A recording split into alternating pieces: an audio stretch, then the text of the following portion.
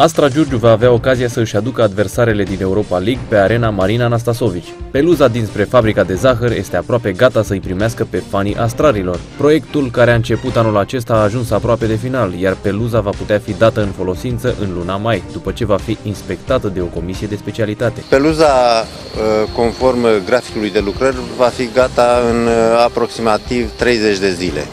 Uh, intenția noastră este să aducem această construcție aproape de finalizare, pentru că în a doua parte a lunii aprilie așteptăm uh, vizita Comisiei uh, Speciale trimisă de Uniunea Europeană de Fotbal pentru omologare în vederea jocurilor de, uh, din cupele europene. Dacă Astra va juca în Europa League, pentru că Champions League, lucrurile de a, la ora la care discutăm sunt clare, este puțin probabil că mai avem șansă la primul loc, dar uh, în Europa League vom putea juca jocurile preliminarii uh, aici la Giurgiu. Stadionul va avea o capacitate de 8.000 de locuri. Când stadionul Marina Anastasovici va fi gata, va putea oferi condiții asemeni celor ale marilor echipe din Europa, pentru cei 8.000 de spectatori care vin de fiecare dată să își încurajeze favoriții la meciurile de acasă.